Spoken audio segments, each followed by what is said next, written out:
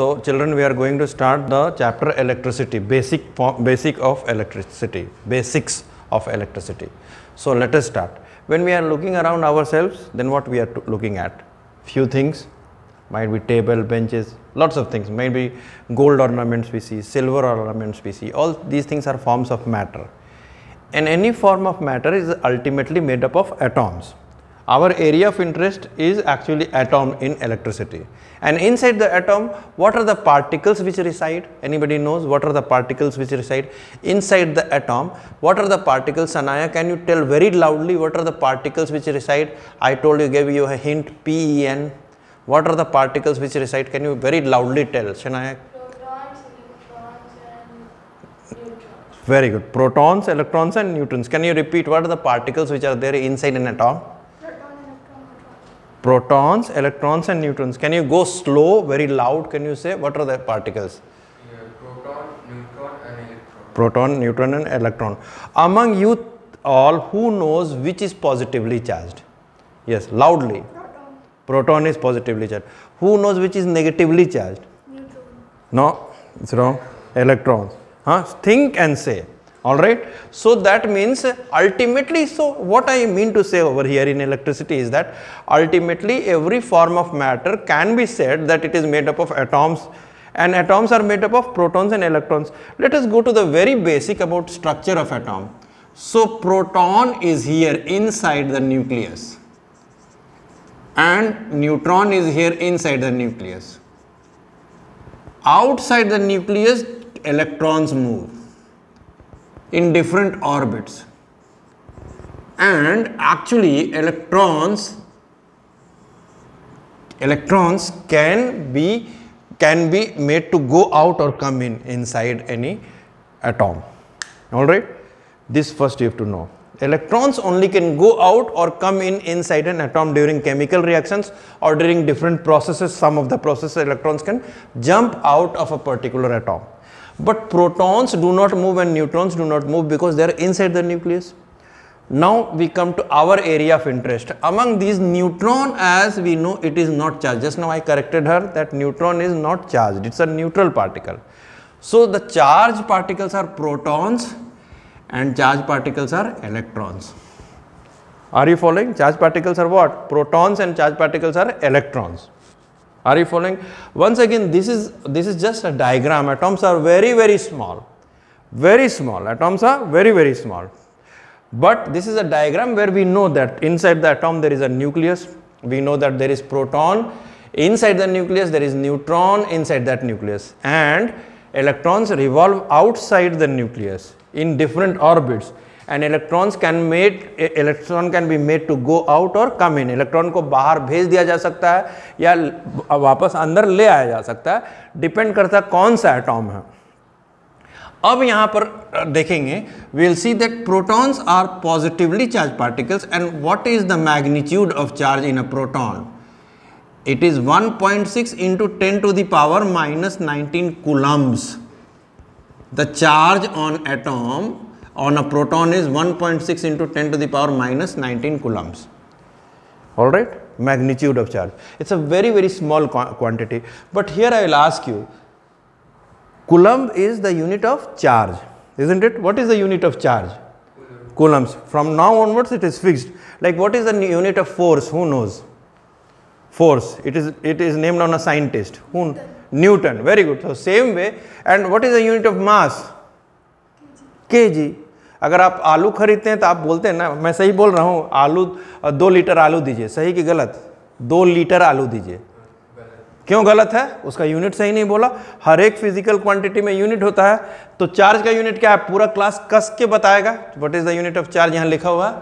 Coulomb coulombs क्या है? Coulombs ठीक है? तो चार्ज का यूनिट अब प्रोटॉन पर मैग्नीट्यूड ऑफ़ चार्ज कितना है? How much is the magnitude 1.6 point six into ten to the power minus nineteen ये याद करने का चीज़ है। देखिए मैग्नीट्यूड अलग चीज़ होता है। मैग्नीट्यूड का मतलब था मात्रा। हम बोले, आप पाँच किलो आलू खरीदें तो what is the magnitude of the the potato which you bought five you don't have to then mention the unit or at 5 magnitude.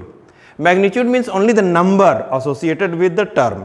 So magnitude of charge on proton is one point six into ten tent minus nineteen coulombs ठीक है?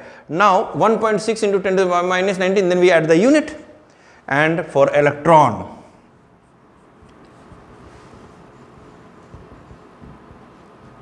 it is same one point six into ten to the power minus nineteen coulombs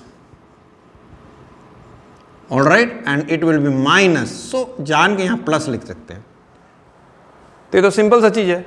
हाँ charge याद इसको याद रखना है। जैसे इसको ये नंबर है सिर्फ़ बड़ा इसे घबराना नहीं है। इलेक्ट्रॉन एक इलेक्ट्रॉन पर कितना चार्ज है? जैसे बोलेंगे कि एक एक एक चिकन में कितना पैर होता है? कितना होता है? टू दो होता है। तो फिक्स्ड है ना? आर यू फॉलो इतना इसमें इसमें समझ रहे हैं? तो वो फिक्स्ड है। तो चार चिकन में कितना पैर होगा? आठ। होगा। फोर टू द एट तो केवल नंबर बढ़ा है। हम कहेंगे एक प्रोटोन पर इतना चार्ज है तो दो प्रोटोन पर कितना चार्ज है तो क्या करेंगे? इसको टू से मल्टीप्लाई कर देंगे, इसको टू से मल्टीप्लाई कर देंगे। दस इलेक्ट्रॉन पर कितना चार्ज है, पूछेंगे तो क्या करेंगे? इलेक्ट्रॉन पर जो एक इलेक्ट्रॉन पर जो चार्ज उसको दस से मल्टीप्लाई कर देंगे। तो सिंपल सा लॉजिक है। केवल ये नंबर बड़ा तो न्यूमेरिकल देख के बेहोश नहीं हो जाना। समझ रहे प्रियांशु? ऐसा लग रहा है कि आप बेहोश हो रहे नहीं ना? एकदम फिक्स्ड है, सही है, ठीक है। सचिन सर, आप भी समझ रहे हैं, सचिन जी, ठीक है? ओके आदित्य, आप भी समझ रही हैं एकदम पक्का से कि ये गड़बड़ नहीं होना चाहिए कि हाँ प्रोटॉन और इलेक्ट्रॉन तो हर बॉडी में ऐसा एटम होता है और उस हर एटॉम में इलेक्ट्रॉन्स और प्रोटॉन्स चार्ज पार्टिकल्स होते हैं। ये पहला चीज़ होता है। ठीक है? इसमें कुछ न्यूमेरिकल पहला ही समझ लें हम लोग। Say for example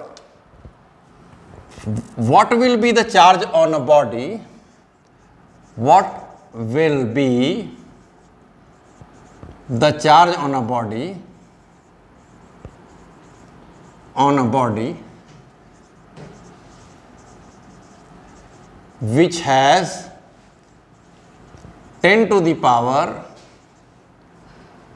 10 to the power 20 electrons. हमको आंसर नहीं चाहिए। प्रोसेस सिंपल होगा। प्रोसेस क्या करना पड़ेगा? कौन जानता है? हाथ उठा लिएगा पहले। कौन जानता है? एक इलेक्ट्रॉन पर इतना चार्ज है तो इतने इलेक्ट्रॉन पर कितना चार्ज होगा? में क्या किया जाता है? एक से फॉर एग्जांपल एक कार में चार चक्के हैं तो दस कार में कितना चक्का होगा? फोर्टी। क्या किए हैं? मल्टीप्लाई किए तो एक इलेक्ट्रॉन पर चार्ज मालूम है, इतने इलेक्ट्रॉन पर कितना चार्ज है निकालने के लिए क्या करना पड़ेगा? प्रोसेस क्या है? Multi we have to find the product isn't it तो हम लोग तो ऐसा लिख सकते हैं ना सॉल्यूशन में। We can write charge in coulombs charge in coulombs is equal to number of particles जो भी अगर इलेक्ट्रॉन पूछा तो इलेक्ट्रॉन और प्रोटॉन पूछा प्रोटॉन इनटू जो भी charge on one particle that is 1.6 point six into ten to the power minus nineteen यही होगा। That is what is charge in coulombs आता। हाँ एक चीज़ है प्लस रखेंगे कि माइनस वो तो आपका कॉमन सेंस है। इस केस में क्या रखेंगे? इलेक्ट्रॉन है। माइनस तो सिंपल है। तो इसका मतलब हम लोग ऐसे कर दिए। इसको हम लोग कहा जाता है क्यू एक्चुअली में। इसको कहते हैं हम लोग एन और इसको कहते हैं ई e. ई e मतलब होता है मैग्नीट्यूड ऑफ़ चार्ज। मैग्नीट्यूड को हमेशा हम लोग इस तरह के ब्रैकेट में लिखते हैं। ई e मतलब क्या है? Either charge on one proton और वन इलेक्ट्रॉन लेकिन साइन नहीं है क्योंकि मैग्नीट्यूड है। साइन आपको देना है। साइन आपको देना है।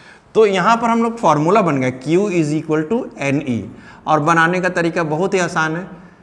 N का value 10 to the power twenty into one point six into ten to the power minus nineteen देखने में घबराने वाला बात है, लेकिन नहीं घबराना चाहिए। माइनस नाइनटीन और ट्वेंटी है तो टेन बज गया ना। टेन टू दावर वन बज गया नाइन इजेंट इट और वन पॉइंट सिक्स को क्या कह सकते हैं? सिक्सटीन बाई टेन लिख सकते हैं पॉइंट हटा दिए तो। टेन टेन गुना हो गया। आंसर आया सिक्सटीन कुलम्स क्या छूट रहा? Minus N very good let us give a hand to her good minus Khushi. Good work very good minus छूट रहा है। डिड यू अंडरस्टैंड तो माइनस सिक्सटीन कुलम्स हो गया। ठीक है? समझ रहे इसमें? ये बात समझ में आ गई अच्छे से। ठीक है? पक्का समझ गए इसको? ओके नेक्स्ट बात क्या है कि कि अगर किसी बॉडी में नॉर्मली जान लीजिए, हर बॉडी में और या न्यूट्रल बॉडी हम लोग कह सकते हैं मैक्सिमम बॉडी जो होते हैं न्यूट्रल होते हैं न्यूट्रल का मतलब same number of electrons and protons मैं उल्टा क्वेश्चन पूछता हूँ। अगर किसी बॉडी में 10 प्रोटॉन और 10 इलेक्ट्रॉन है तो वो न्यूट्रल है या चार्ज है? न्यूट्रल है। क्यों? दोनों का मैग्नीट्यूड सेम है नंबर भी सेम है तो बराबर ताकत का चीज़ है। नंबर भी मान लीजिए ताकत भी बराबर और संख्या भी बराबर है तो, तो न्यूट्रल हो जाएगा। तो अगर 10 प्रोटॉन्स और 10 इलेक्ट्रॉन्स है तो न्यूट्रल है। अब क्वेश्चन है सोच के बताइएगा। किसी बॉडी में 10 प्रोटॉन है और 10 10 इलेक्ट्रॉन्स हैं। दो इलेक्ट्रॉन चला गया, वो बॉडी पॉजिटिव चार्ज होगा कि नेगेटिव चार्ज होगा? सोच के बताइए। हाँ पॉजिटिव चार्ज होगा। सोच के बताइए। 10 प्रोटॉन और 10 इलेक्ट्रॉन है तो प्रोटॉन प्लस चार्ज है और इलेक्ट्रॉन माइनस चार्ज है। तो माइनस चार्ज चला गया तो कौन बढ़ जाएगा? प्रोटॉन। तो कैसा हो जाएगा? If a body loses electron what will be the charge on it positive charge ठीक है, उल्टा फिर बोल रहे हैं। मान लीजिए किसी बॉडी में 10 प्रोटॉन और 10 इलेक्ट्रॉन है। तो दो इलेक्ट्रॉन आ गया। Suppose a body has got 10 electrons and 10 protons all right and what happens to more electrons come then what will be the charge on the body now negative charge isn't it क्योंकि इस बार plus दस ही रह जाएगा, लेकिन minus बारह हो जाएगा। तो इसका मतलब क्या चीज़ सीख के नट सेल में हम लोग क्या चीज़ सीखे? What is the take away if a body loses electrons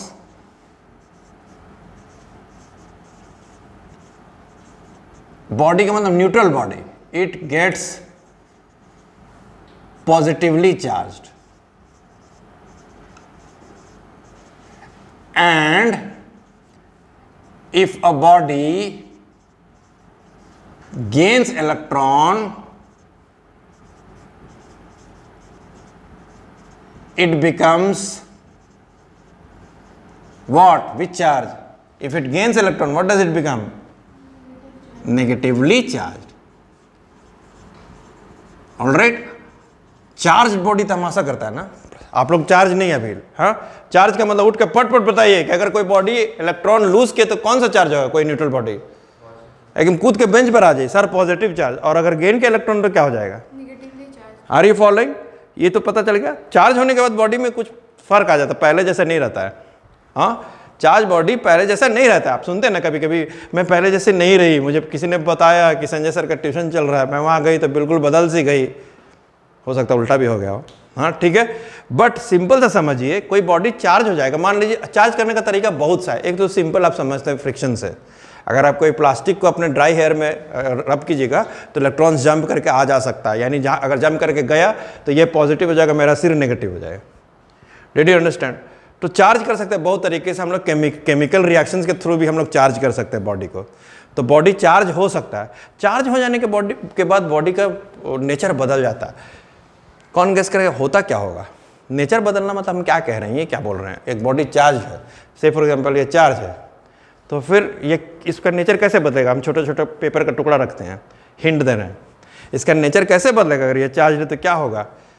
ये दूसरे चार्ज बॉडी को अट्रैक्ट या रिपेल करेगा। बस इतना ही चेंज होगा। चार्ज बॉडी कैन अट्रैक्ट और repel other charge body might भी अट्रैक्शन के केस में थोड़ा सा डिफरेंट भी सिचुएशन अभी नटसेल में सिंपल में समझना है। Charge body can attract the other charge body और repel other charge body okay तो that means if a body is charge तो हम थोड़ा सिंबल देते हैं। इसका मतलब क्या आप समझ रहे हैं? हमने ऐसा क्यों बताया, बनाया? ये दोनों ऐसे जा रहा है, ये क्या दोनों प्लस चार्ज है, क्या मैं कहना चाह रहा हूँ? लाइक चार्जेस कस के बोलिए? Like charges repel isn't it दो पॉजिटिव चार्ज आपस में क्या करेंगे एक दूसरे को? रिपेल करेंगे, यानी ये दूर चला जाएगा। और यहाँ पर लेकिन क्या होगा, सोच समझ के बताइएगा। हम हम ड्रामा कर हम एक्टर हैं। यहाँ पर रिपेल्सन नहीं होगा मेरे हिसाब से कि होगा। क्या है? दोनों नेगेटिव है, दोनों लाइक चार्ज हाँ। ठीक है? पूछ रहे हैं कि बता रहे हैं? बता रहे हैं। Good very good Khushi very good अब देखिए प्लस और माइनस है, अब की क्या होगा? अट्रैक्ट होगा। यानी like charges will repel and unlike charges will attract एक और क्वेश्चन यहाँ, इतना जान के मैंने थोड़ा देर समय रखा। अगर मैं आपसे ये पूछ दूँ तो क्या इस आंसर से क्या डिफरेंट होगा आंसर क्या डिफरेंट होगा? क्या सब चीज़ सेम होगा क्या कुछ डिफरेंट होगा? What will be the charge on a body, on a body which has lost 10 to the power 20 electrons यहाँ मैंने लॉस्ट लिख दिया।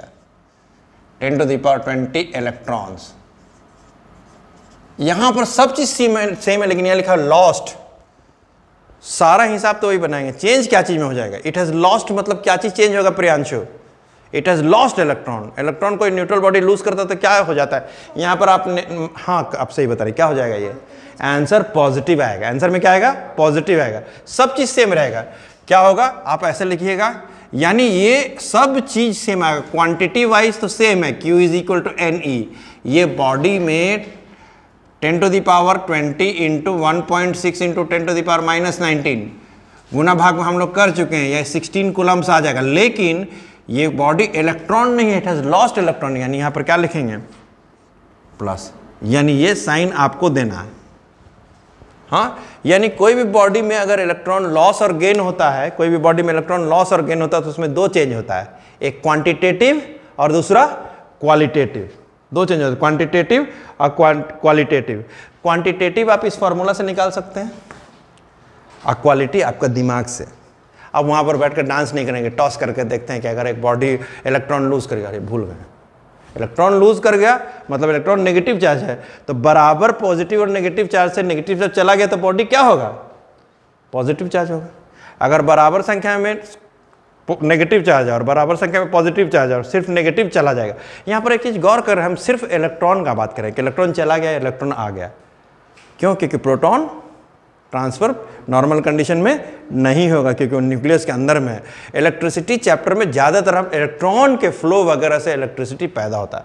और अभी हम लोग जो पढ़ रहे हैं, अभी बड़ी सिंपल इसको मैंने रगड़ दिया, ये चार्ज हो गया। लेकिन अभी इलेक्ट्रिसिटी एट रेस्ट है। इसको मैंने रगड़ दिया, ये भी चार्ज हो गया। दोनों को सामने लाएँगे, क्या होगा? देखें। इसको रगड़ा तो ये इलेक्ट्रॉन लूज कर गया जो भी होगा। इसको भी रखेंगे तो फिर ये भी सेम मटेरियल तो ये भी इलेक्ट्रॉन लूज करेगा तो दोनों में सेम चार्ज आ जाएगा। प्लस तो इसको सामने लाएँगे तो क्या होगा?